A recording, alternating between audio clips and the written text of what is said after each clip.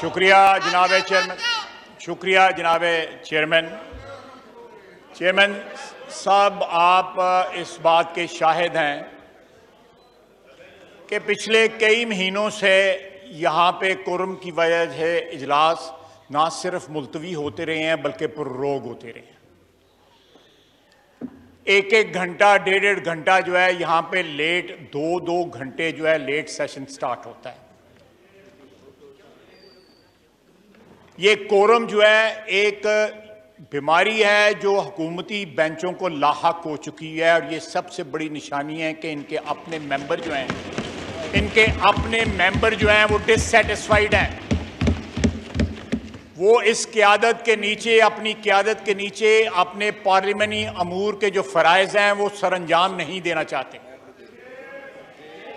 आज अपोजिशन ने अपोजिशन ने यह साबित किया है कि ये कोरम अपॉइंट अपॉइंट आउट करें, हमारा कोरम पूरा होगा।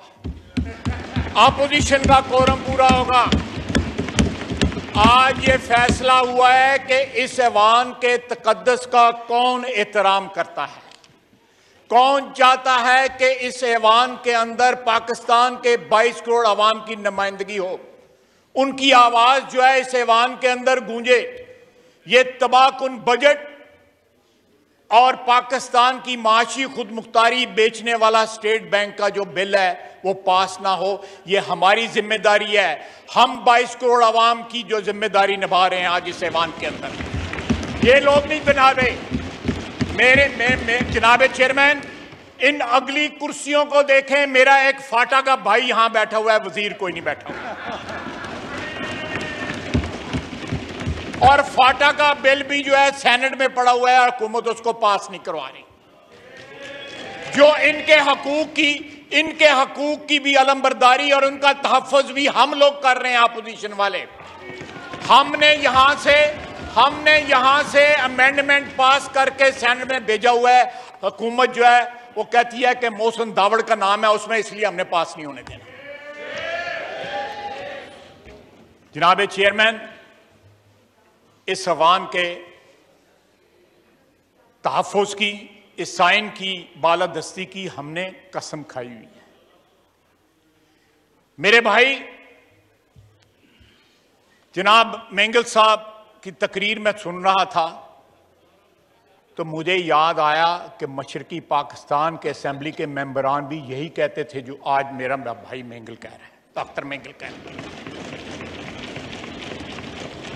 वक्त हाथ से निकल जाता है तो फिर हम किसी सकूत के, किसी सकूत के जो है उसकी जस्टिफिकेशनें पेश करते रहते हैं। यह बात सही है। यह रिकोडेक हो गया संदक हो गया। सुई हो गया, गवादर हो गया। ये हमारे बलोची भाइयों की मलकियत है। सबसे पहले उनका राइट ऑफ़ प्रियमशन है उसके ऊपर।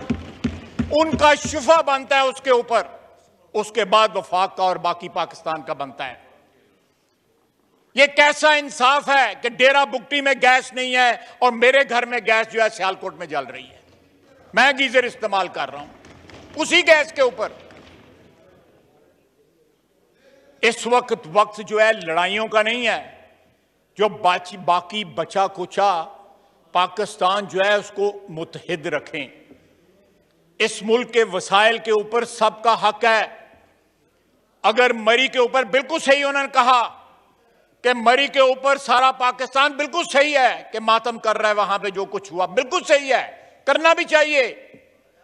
लेकिन जो कुछ बलोचिस्तान में हो रहा है, उसके ऊपर भी सारे वफाक को जो है मातम करना चाहिए। जनाब चेयरमैन, ये मुल्क की सलामती की बात है, आइन के बाला, आइन की बालादस्ती की बात है, कानून की सरबुलंदी की बात है। आप जब तक 22 करोड़ आवाम, तमाम 22 करोड़ आवाम को एक मैार पे, एक पैमाने पे नहीं तोलेंगे, पाकिस्तान के अंदर फॉल्ट लाइन जो है वो बढ़ती जाएँगी, वो दराड़ें जो है वो चौड़ी होती जाएँगी। इस मुल्क में रहते हुए, इस मुल्क के बशिंदों का, चाहे वो बलूचिस्तान हो या सिंध हो या पंजाब हो या केपी हो, उनको अजनबी होने का एहसास होगा। आप इनके इनके फाटा वालों के जो हकूक हैं, आपने उनको जम किया है, उनको बाकी पाकिस्तानियों जितना हकूक दे फिर। आप क्यों नहीं उनके हकूक देते? क्यों सेनेट में पड़ा हुआ बिल जो है? सियासी जो एक्सपीडियंसी है, उसका शिकार हो रहा है, कानून जो है। जनाब वाला, ये ये सिलसिला नहीं चलेगा। ये तकरीरें जो हैं, ये मिनी बजट आया है। अफसोस की बात है।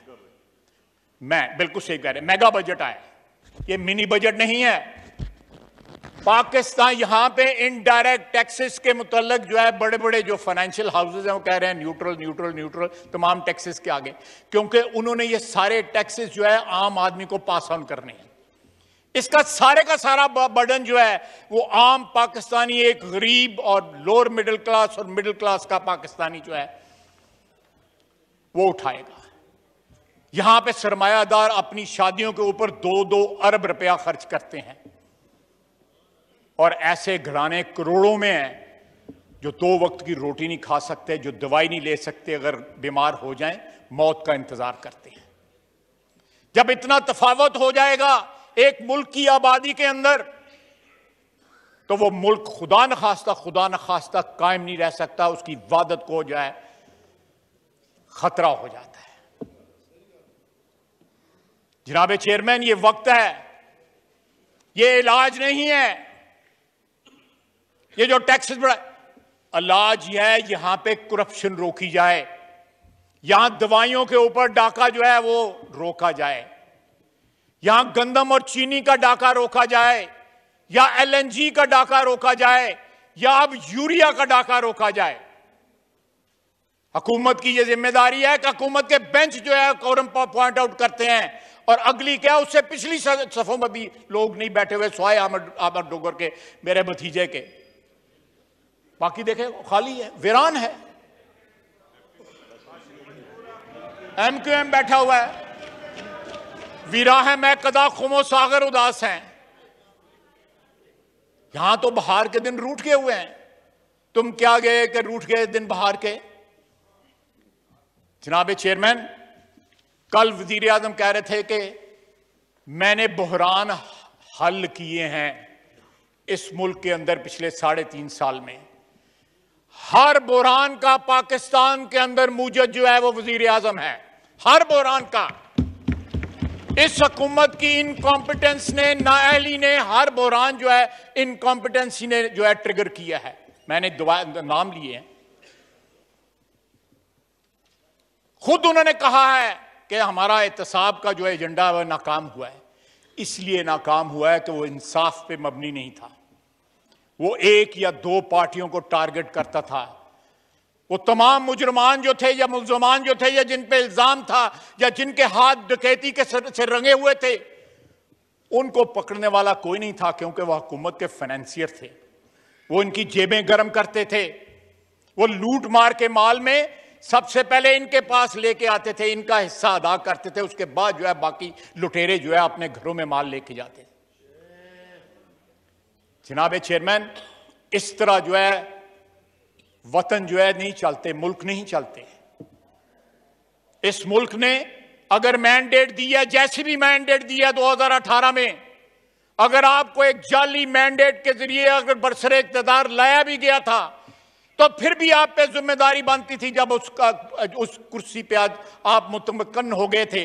तो आप पे ये बनता था कि आप जो इस मुल्क का कर्जा जो है मैं कर्जे, पैसे वाले कर्जे की बात नहीं कर रहा जो उन्होंने उस पर एहसान किया जिन्होंने भी एहसान किया आज वो इनका बोझ नहीं उठा सकते। आप भी गवाह हैं, जनाब चेयरमैन। आपकी कुर्सी गवाह है स्पीकर साहब गवाह है। ये ऐवान गवाह है कि इनको किसके फ़ोन जाते हैं जब आपको वोटों की ज़रूरत पड़ती है? कौन फ़ोन करता है रात के अंधेरों में? इनको इनके वोट पूरे करता है। ये साढ़े तीन साल से सिलसिला जारी है।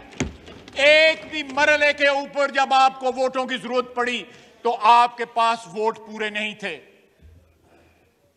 आपके वोट पूरे किए गए। और एक सियासतदम जब, एक सियासतदान, एक वज़ीर आज़म एक वज़ीर, एक नेशनल असेंबली का मेंबर जब ये कहता है कि मेरे पर अभी पिंडी वालों का साया है तो कितनी शर्म की बात है। ये बयान देने वालों को शर्म भी आनी चाहिए और हया भी आनी चाहिए, जनाब चेयरमैन साथ कहते हैं, हम एक पेज पे हैं। हम एक पेज पे हैं और हमारे मसाली ताल्लुकात हैं। आइन की आइन की रिक्वायरमेंट है, जनाब वाला, के तमाम अदारे एक पेज पे हों। अगर कोई अदारे पेज पेज पे पेज पे नहीं है तो वो आइन की खिलाफ वर्जी कर रहे हैं। ये डंडोरा पीटना कि फला हमारे साथ है, फला हमारे साथ है, इसलिए इकतदार हमारा कायम है। तो मैं समझता हूँ कि एक सियासतदान की या एक पब्लिक की सपोर्ट से इलेक्टेड बंदा अगर है तो उससे इससे ज़्यादा शर्म की कोई बात नहीं है। जनाब चेयरमैन, ये इस ऐवान की तोहीन है कि इस ऐवान में बनने वाली हुकूमत जैसे भी वो बनी, वो सहारे ढूंढती है। जब भी अंडर प्रेशर आते हैं तो ये बयान देते हैं जिस तरह मैंने पंजाबी में कहते हैं कि वो किसी बच्चे को मोहल्ले में मार पड़ते हो कहना मैं बड़े भरा बुला लेना है।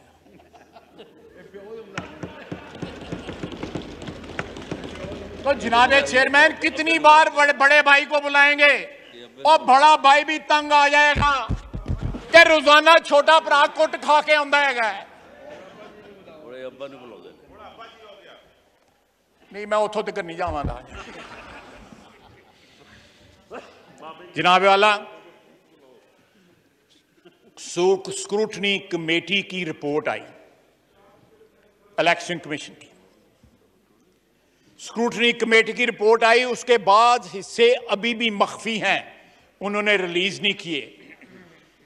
ये फलूदे वाले की बात करते हैं, अपने जो है चाय पिलाने वालों के अकाउंट में जो है करोड़ों रुपए मांग बढ़ा ये मियाँ शबाज शरीफ को जो है टीटी का ताना देते हैं। ये अपने इकतीस करोड़ रुपया कहाँ से निकल आया? जो आपने डिक्लेयर ही नहीं किया। और वो जो मोशन बेग कहता है कि मैंने एक करोड़ रुपया दिया तो वो टीटी कहाँ गई? वो किधर गए पैसे? वो कहता है अलीम खान ने भी दिए हैं। वो कहता है शौकत उसने जहांगीर तरीन ने भी दिए हैं। शौकत तरीन में बिच आ गया।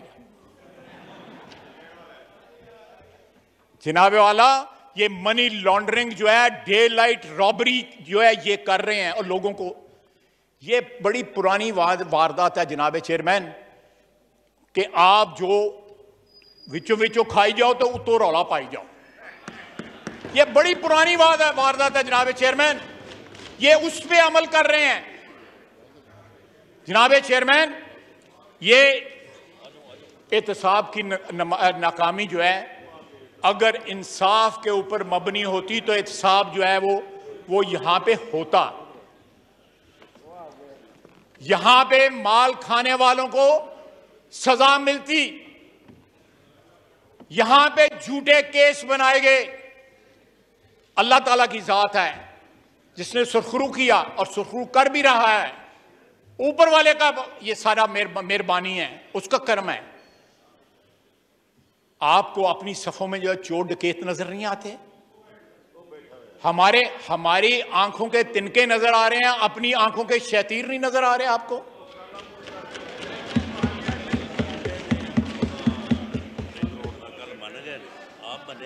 राणा साहब कहते हैं कि कल वज़ीर आज़म साहब जो है रिंग रोड का फ्रॉड मान गए हैं। किसी को पकड़े लोगों को बाहर कौन हम ईसीएल पे हैं? ये सारे हम सारे ईसीएल पे हैं। अगली लाइन सारी ईसीएल थी मुझे बताएँ कि वहाँ के टिकट जो है वो एसीएल पे जिनको ये रिकग्नाइज नहीं करते। उनको ईसीएल पे क्यों नहीं डाला हुआ? कल टीवी पे टिकट चल रहे थे कि शायद अबासी भी पेश हुए, फवाद, हसन फवाद भी पेश हुआ।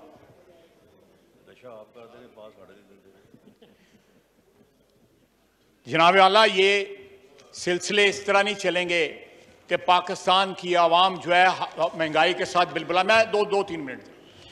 महँगाई के साथ जो है वो बिलबला उठे। स्टेट बैंक आप बेच दें, इसके नाम के साथ स्टेट हटा दें।